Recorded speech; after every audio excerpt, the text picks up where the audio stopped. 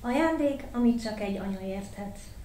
Korábban, ha eszembe jutott az anyák napja, mindig az iskolai ünnepségek képei villantak fel előttem. Ahogy próbálok egyenesen állni az aprócska rakott szoknyámban, ahogy igyekszem elrejteni a foltot a blúzomról, amit ebédkor gondosan leettem a menzás gyümölcslevessel, és ahogy megkísérlem megzabolázni a göndör hajamat, amit anyukám ugyan szokva fogott reggel, de minden erőfeszítésem ellenére a nap végére már megint úgy néztem ki, mint egy erősen megviselt ördögszekér, amit keresztül fújt a szél a sivatagi homokon. Szinte hallom magam előtt az osztálytársaim dalolászását, köztük a saját egérszerű énekhangommal, hogy üzenik az ágaklombok, légy te mindig nagyon boldog édesanyám. Többre már nem is emlékszem belőle, de ez megunhatatlan melódia volt minden anyuka és nagymama számára, akik egy kisebb ország éves papírzsebkendő fogyasztását megszégyenítve törölgették könnyáztatta arcukat, és egymás vállán zokogva nézték végig a hamiskás, de annál szeretetteljesebb előadást. Aztán megszületett a fiam, és egészen más megvilágításba került ez az ünnep. Ezúttal én voltam a másik oldalon, és ugyan tudtam, hogy a pár hónapos gyermekemtől még nem igazán várható el, hogy hózentrógeres ünneplőnadrágban és kis csokornyakkendőben elém álljon, és elszavalja József Attila Mama című versét, azért bevallom, arra tényleg nem számítottam, hogy valójában hogyan is fog zajlani végül a legelső anyák napján, immáron anyukaként. A férjem szerette volna, ha különleges lesz ez a nap számomra, ezért már kora reggel elbattyogott a kedvenc virágárusomhoz a kisfiammal, és együtt kiválasztottak egy csodaszép lila harangvirágot, amit kiültethetek a balkonládába az erkére, hogy mindig eszembe jussanak róla a kedvenc fiúim, és persze ez a páratlan ünnep. Ráadta a csöpségre az I love mom, azaz szeretem az anyukámat feliratú kis badiát is, majd teljes harci díszben, virággal felvértezve megjelentek az ágy mellett, én pedig ugyanolyan zokogásban törtem ki, mint annak idején a szülői munkaközösség egy szuperanyuk.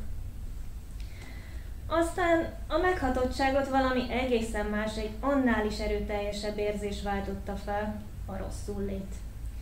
A kis családomon átvágva rohantam a fürdőszoba felé, ahol, hát mit szépítsem, az előző esti vacsora maradéka sietve távozott belőlem.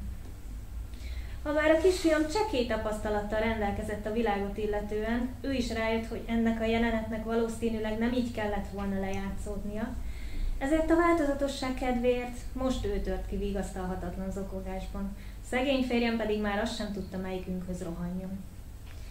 Szóval anyák napján, azon a bizonyos első anyák napján, anya izolálva lett a lakás egyik felébe, apa a gyerkőccel és a kutyával a másikba, a rokonság pedig szaladt Covid-tesztet venni, és hát biztos, ami biztos alapon egy terhességi tesztet is.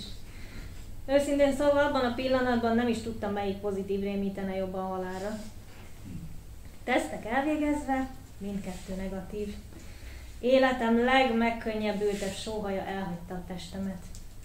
Viszont, hogy fokozzuk a hangulatot, addigra már a lázam is felszökött. Egyre magasabbra és magasabbra kúszott a higanyszál a hőmérőn, én pedig éreztem, hogy egyre gyengébb és elesettebb vagyok. Az ünnepi reggelit ebédre odáztam, amikor pedig eljött a délidő, mondtam, hogy inkább vacsorára kérném a menüt. Estére pedig teljesen elhesegettem az evés gondolatát is. Pártkor tea, pár keksz, sorozatdarálás, fel se fogtam a nagy részét. Szomorú voltam az elrontott nap miatt. Aggódtam, hogy a gyerek el ne kapja bármi is ez, hiszen olyan pici még.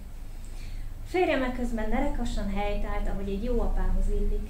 Egész nap játszott, mesét nézett, altatott, pelenkázott, fürdetett, mindezt az éppen nagyon anyás korszakában lévő fiunkkal, aki nem igazán értette, hova tűnt az ő kedvenc őkecicise, aki egész nap lógni szokott.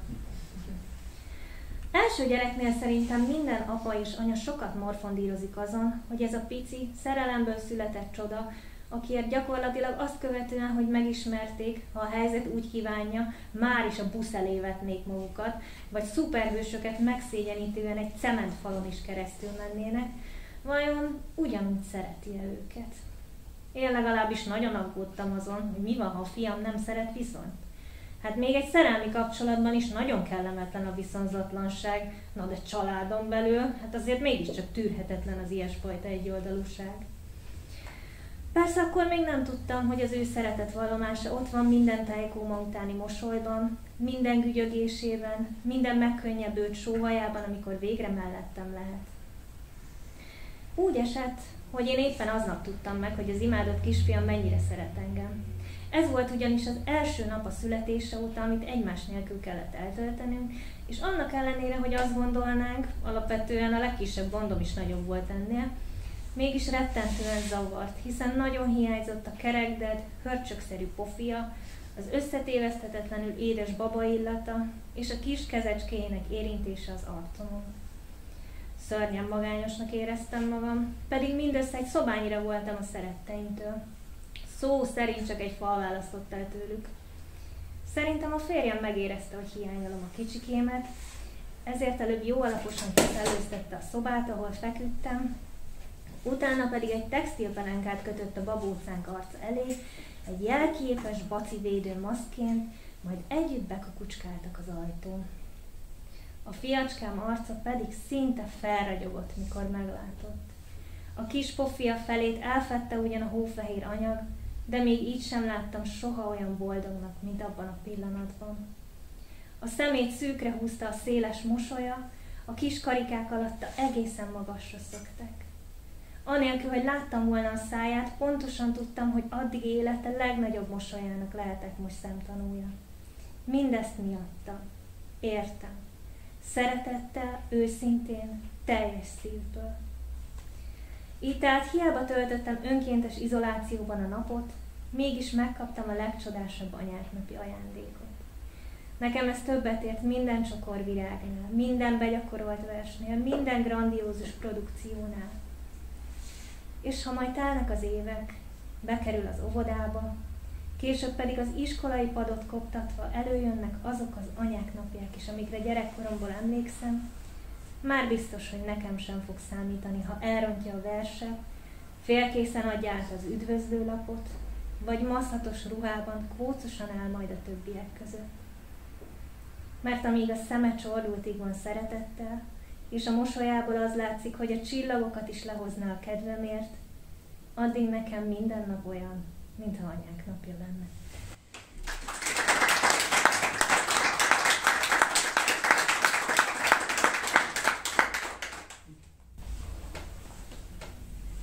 A legszebb karácsony. Te mit csinálnál idén karácsonykor, Lili? Sukta oda Panni a legjobb barátnőjének a szomszéd ágyból. Már rég aludniuk kellett volna, akár csak a többieknek. Lili összeráncolta a kis homlokát, olyan erősen gondolkozott a válaszon. Ha bármit lehetne? kérdezett vissza végül. Ha akármit választhatnál. A kislány szorosan magához ölelte a plüsmackóját, majd sorolni kezdte. Szeretnék egy óriási fenyőfát. Olyan hatalmasat, hogy a csúcsdísz összekarcolja a mennyezetet. Csillogó piros gömbökkel, csillagokkal, gyöngyökkel és villódzó fénysorokkal. Hogyha anyukámmal jövünk haza a karácsonyi nagy bevásárlásból, akkor már a sarokról lássuk az ablakon át a mi fánk fényét. Szeretném, ha finom ételek illata fogadna minket, amikor belépünk ropogós pulykasült és krumplipüré, és mivel ünnep van, semmi undi zöldség, mint a brokkoli, a kelbimbó vagy a zöldbab nem lenne ám a tányéron. Viszont a sütemények rendkívül fontosak. És persze azt szeretném, ha anyával közösen sütnénk meg az összes finomságot, és roppanós cukormázzal díszítenénk ki a mézes kalácsemberkéket. A lányoknak még magas sarkú cipőt és masnit is rajzolnék, a fiúknak pedig csokornyakkendőt, hogy elegánsak.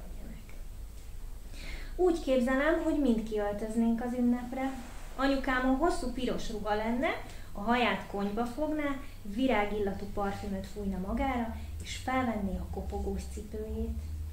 Ki is rúzsozná magát, még rám is kenne belőle egy kicsit, hogy olyan piros legyen a szám, mint a mesebeli hófehérkének és én is kapnék piros ruhát, csillogó tőszoknyával. Tudod, olyan balerinásat, amiben csak pörögnék és pörögnék, míg teljesen el nem szédülök. Persze apukám is kicsépné magát az alkalomra, hófehér inget viselne, sötétkék nadrágot és hozzáillő zakót. de a nyakkendője bohókás lenne, búzavirágkék alapon aprócska hóemberek díszítenék.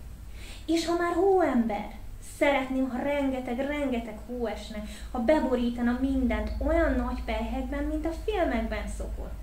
Akkor építhetnénk egy hatalmas hóembert a házunk udvarán. Kövecskékből szemeket, szájat és gombokat tennénk a gömböc testére, anya pedig hozna egy jó nagy répát az orrának. A kutyusunk is ott szaladgálna a hóba, és megpróbálna ellopni hóurasság új nóziát, amin akkorát nevetnénk. Úgy képzelem, hogy a kutyust a Jézuskától kaptam előző este. Azonnal kiszúrtam a legnagyobb dobozt, és reménykedtem, hogy az én ajándékomat rejti piros cukorpálcás csomagolópapírral lenne beborítva, és csillogó zöld masni lenne a tetején. Annyira szugerálnám, hogy azt hinném, amiatt mozdul meg néha a csomag, nem azért, mert egy ilyen különleges élő dolgot rejt. Aztán, mikor a szüleim oda tolnák elém, a kiskutya kidobná az órát a doboz tetején át, és megnyalná az arcomat. Azt hiszem, sírnék az örömtől, hiszen mindig erre vágytam. Tudod, Panni, nem is kellene több ajándék. Sőt, talán ajándék sem kellene. És óriási fa vagy hatalmas hóember sem. A finom fogásokról és a sütikről is le tudok mondani. Sőt, ha nagyon muszáj, még a pörgős szoknyáról is. Csak arra vágyom, hogy együtt legyünk. Anya, apa és én. Meg a kiskutya, azt azért nagyon szeretném. A fejemben már el is neveztem Tötyinek, az édes kis foltok miatt, amik az órán vannak. És barna lenne, meg fehér, és minden nap megölelgetném, és hozzábújnék, és ő lenne a világ legszuperebb kutyája. És te mit szeretnél karácsonyra, Panni? Én csak azt, hogy ott lehessek veled ezen a csodás karácsonyon, amit leírtál. Meg egy pónit, aminek rózsaszínes a rénye. Csillám hercegnőnek nevezném el, és minden reggel lovagolnék rajta, még akkor is, mikor rossz az idő. Csak hogy tudja, hogy olyankor is szeretem. Mondta Panni, majd kinyújtotta a kezét, hogy elérje a barátnőjét. Másnap reggel minden gyerek izgatottan várta, mikor nyílik végre a szobájuk ajtaja, hogy átszaladhassanak a nagyterembe a karácsonyi ajándékukért. A nevelőnők már kevésbé voltak lelkesek. Tudták, hogy idén különösen szegényes karácsonyuk lesz a kis árváknak. Díszre sem igen futotta, így a régi kopott gömbök mellé a gondozók maguk gyártottak színes papírból különféle figurákat. Szíveket, fenyőket, Mikulás sapkákat.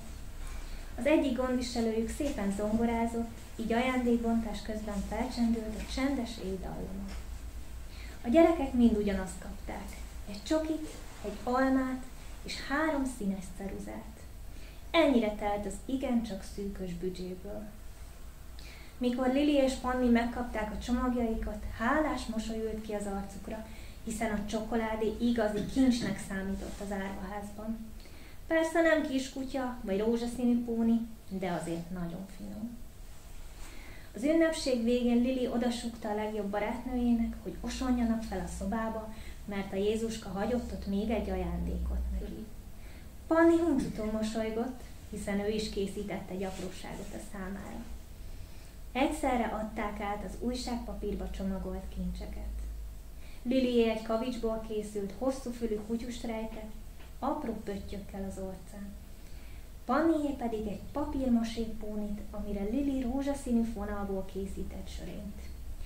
Amikor meglátták az ajándékukat, összeölelkeztek, és hosszú percekig el sem engedték egymást. Tudod, Panni, lehet, hogy nincs apukánk és anyukánk, de azt hiszem, nekem te vagy a családom, mondta elcsukló angol Lili.